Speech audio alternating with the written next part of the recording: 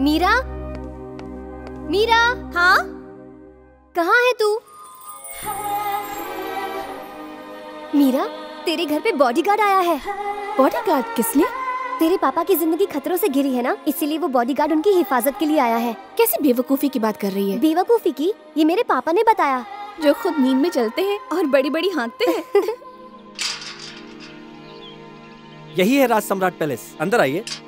श्री राम कुमार वर्मा बचपन से ही यहीं खेले पढ़े और बड़े हुए। इस वक्त वो यहाँ नहीं है दुबई शिकार पर गए हैं। शाम की फ़्लाइट से वापस आने वाले हैं। तब तक मैं यहीं पर कराटे चाचा जी हाँ, अलार्म बज गया क्या? हाँ। हाँ अंदर आओ अंदर आओ। ये है उनकी धर्म पत्नी देविका मैडम। प्रणाम। और इन्हें मालिक की हिफाजत के लिए सरकार ने भेजा है। इनका नाम है मोहन राज जी नहीं भूमिनाथ। नहीं मैं चंद्रकांत। नहीं इनका मैं जाबाज मैनेजर। मेरी इजाज़त के बिना यहाँ परिंदा भी पर नहीं मार सकता खराटे। बॉडीगार्ड की क्या ज़रूरत है जब उनका कोई दुश्मन ही नहीं है? किस बात की प्रोटेक्शन दी जा रही है? चंद्रकांत? हाँ, क्या हुआ? अलार्म बज गया क्या? क्या उनका कोई दुश्मन भी है बॉडीगार्ड? वैसे खतरा सिर्फ़ शत्रुओं से नहीं बल्कि अपनों से भी तो हो सकता है ना? ओ, घर देख लो। ये घर का सबसे महँगा हॉल। ये ये वो बॉडीगार्ड हाँ बेटी। कौन बेटी? मा, मालिक की बेटी मीरा।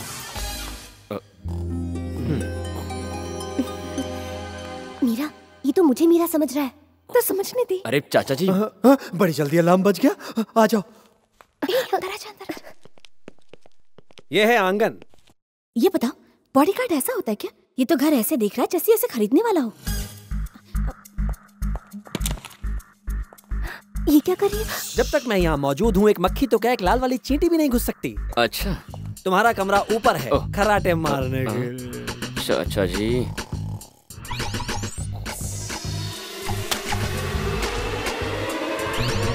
कौन है? कौन कौन है? अलार्म कौन बजा कर गया? है? कौन है? हेलो? तुम मेरा चेहरा क्यों देख रहे हो? इस वक्त आपके चेहरे पर एक बजा है ना इसलिए।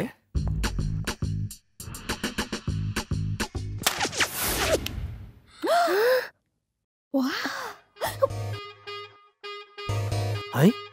तुम्हारे हाथ में तीर? ये कहाँ से उड़कर आया? हैं? अब ये कहाँ से निकला? बॉडीगार्ड तो होता है बहुत वीर इसने निकाला है मेरा तीर हैं? काफ़ी स्मार्ट है ये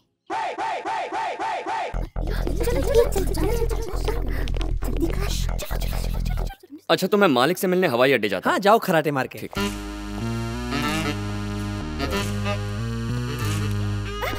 कहाँ ले जा रहे हो छोड़ो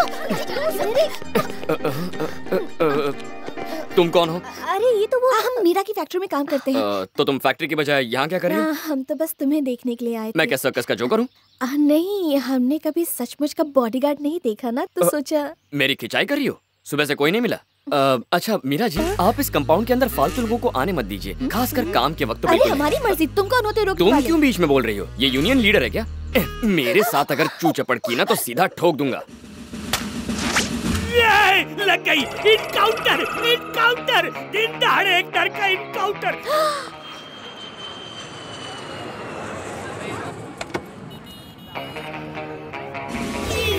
यहाँ क्या कर रहा है? पीला पीला पहनकर इसने मुझे देख तो नहीं लिया। लगता मैं इंडियन जेल नहीं बन पाऊँगा। कहाँ गया? यस इधर क्या कर रहा है तू? आपकी सेवा के लिए तो आया हूँ। मिस्टर राम अपने बेटे के साथ प्लेन से आ रहे हैं और हमें उनकी हिफाजत करनी अच्छा है। एक बात बता बरसात तो नहीं हो रही है? ये बरसाती मेंढक जैसे क्यों घूम रहा है? बरसाती मेंढक नहीं बॉस ये मेरे दिमाग की खोज है। जेम्स बॉन्ड से भी एडवांस्ड ये मैग्नेटिक ड्रेस है। क्या बोला? मैग्नेटिक ड्रेस यस सर इसकी खूबियाँ सुनकर आप मैड हो जाएँगे। इस ड्रेस से आकर सारे लोहे की चीज़ें चिपक जाएँगी। इससे आप और मैं, मिस्टर राम कुमार वर्मा को बचा लेंगे। क्योंकि सारी गन्स हमको चिपक जाएँगी।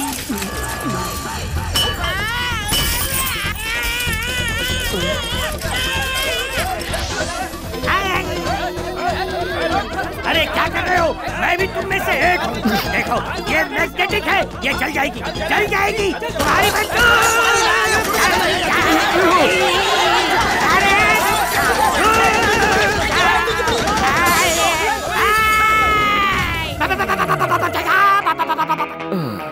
ये तो होना ही था। मुंबई से बैंगलोर जाने वाली फ़्लाइट नंबर 68158 उड़ान भरने के लिए तैयार है। यात्रियों से अनुरोध है कि वो विमान की ओर प्रस्थान करें। धन्यवाद। बोलिए सर। राम कुमार वर्मा आ गया है। मार दो उसे। ठीक है सर। मालिक? मालिक?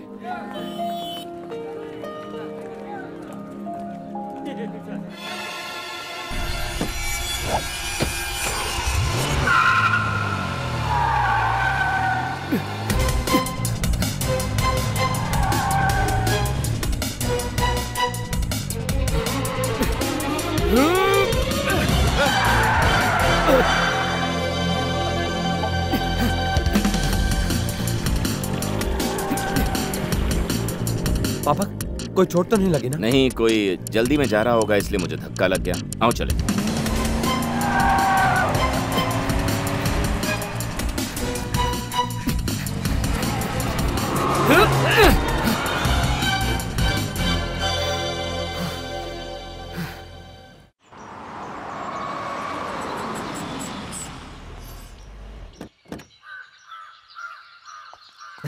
कहाँ रह गया वो? दिख नहीं रहा। दिखाई नहीं देता पीछे ही तो है।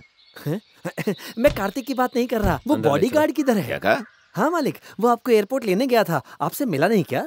चेहरा धो कर आओ हमेशा नींद में चलता है। नींद में चलता ज़रूर हूँ लेकिन बात होश में करता हूँ। सच में यहाँ आपका बॉडीगार्ड आया है। बॉडीगार्ड जी हाँ। हमें क्यों चाहिए बॉडीगार्ड पापा आपकी ज़िंदगी को खतरा है वो एक चिट्ठी भी लाया है। जी हाँ। इसीलिए हमने उसे मेहमानों वाले कमरे में ठहराया हैं? तुम लोग को बिल्कुल भी अकल नहीं है क्या?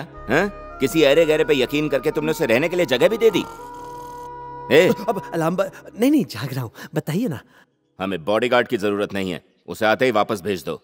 समझ गए ना? जी समझ गया।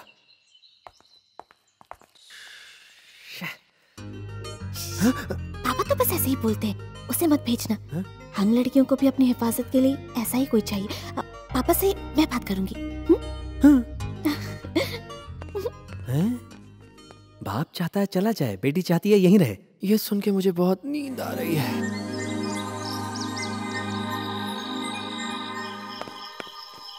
ओ हेलो यूनियन लीडर तुम यहाँ क्या कर रही हो? काम के बाद घर नहीं जाती क्या? अब गई थी। मालकिन ने वापस बुलाया है इसीलिए मैं यहाँ आई हूँ। मालकिन का कमरा तो उस तरफ़ है। यहाँ तो मीरा जी के भाई का कमरा है। आ, वो बात देखो बहाने मत बनाओ। जानती नहीं औरत उसकी कमज़ोरी है। उसी की वजह से उसको यहाँ से जाना पड़ा। अब जाकर वापस लौटा है। कहीं तुम भी उसके झांसे में आ गई तो? क्या कहा तुमने? औरत उसकी कमज़ोरी और क्या? विद्यालय में यहाँ उसने विद्यालय में बीस लड़कियों को अपने जाल में फंसाकर गर्भवती बना दिया था। और जब उन लड़कियों के बाप ने उसे पकड़कर उससे शादी करवानी चाहिए तो हमारे मालिक ने उसे बचाकर वहाँ से फ़ौरन दुबई भेज दिया हाँ। इतनी सारी बातें एक बॉडीगार्ड को कैसे पता?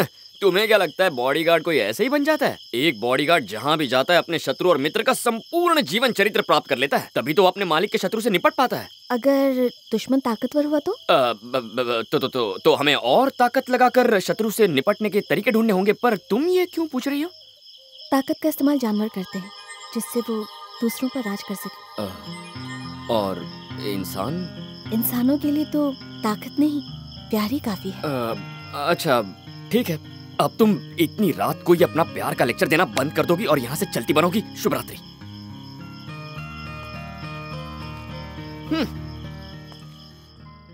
हे कार्तिक। हाँ आओ मेरा। तुमने एक लड़की को धोखा दिया हाँ? और फिर उससे भागकर दुबई चले गए क्यों? ये सब तुम्हें किसने बताया? उस लड़की ने खुद फ़ोन करके मुझे बताया।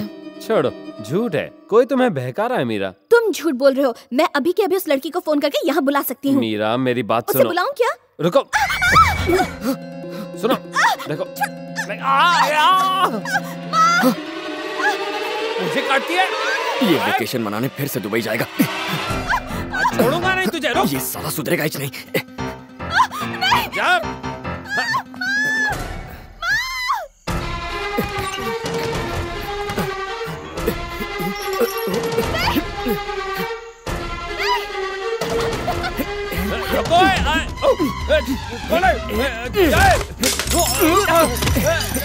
साले बहुत चर्बी चढ़ी है तुझे। तेरी चर्बी तो अपन अभी उतारेगा। चल खोलता हूँ तेरी दुकान।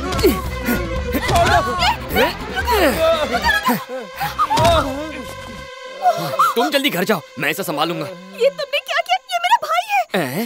राम कुमार वर्मा की बेटी मीरा मैं हूँ। भाई कार्तिक भैया। कार्तिक भैया। वो खून। भागो इससे पहले कोई देख ले भाग जाओ। कार्तिक भैया यहाँ खड़े खड़े क्या कर रहे हो? मैंने कहा ना भागो। क्या हो रहा है? मीरा? हाँ, कैसी आवाज़ थी ये? जाओ यहाँ से। पकड़े गए तो छोड़ेंगे नहीं तुम्हें। भागो। मीरा? मीरा? मीरा? ये क्या हुआ? कार्तिक? बेटा ये कैसे हुआ? ये तेरी वजह से हुआ है क्या? वो मैं अरे तुम यहाँ क्या कर रहे हो? जाके पानी लेके आओ। कार्तिक बेटा कार्तिक कार्तिक। ये लीजिए मुँह पे मारिए। आँखें खोल बेटा। कार्तिक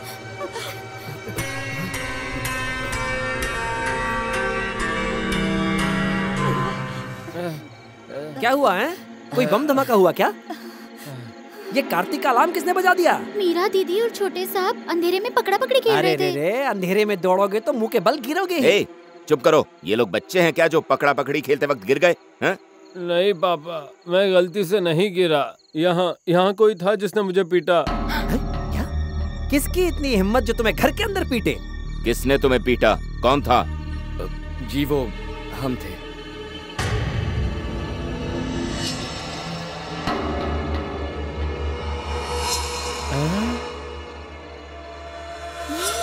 दरअसल मैंने दोनों को भागते हुए देखा तो इन्हें गुंडा समझकर पीट दिया। अरे रे सत्यानाश हो तेरा। जब मैंने तुझे घर के बाहर सोने के लिए कहा था तू इन्हें मारने के लिए घर के अंदर कैसे तुम घुसा पहचानते हो इसे? ये वही है मालिक आपका बॉडीगार्ड नमस्ते मालिक मैं हूँ आपका बॉडीगार्ड पापा जाने दीजिए। इसका कोई कसूर नहीं है। मेरे मज़ाक को सच समझ बैठा और भैया को पीट दिया। मैंने तुम्हें पहले ही समझाया था। अजनबी को मत रखो। देखा इसने तुम्हारे भाई को पीट दिया? ए ये है बॉडीगार्ड की ड्यूटी हमने कहा था ना कि हमें बॉडीगार्ड नहीं चाहिए इसे भेज दो। काम नहीं कर सकते तो जाओ। इडियट मालिक मालिक आप मेरी मेरी बात तो सुनिए। तुम जो कोई भी हो दोबारा यहाँ वापस मत आना। नहीं तो मैं जाओ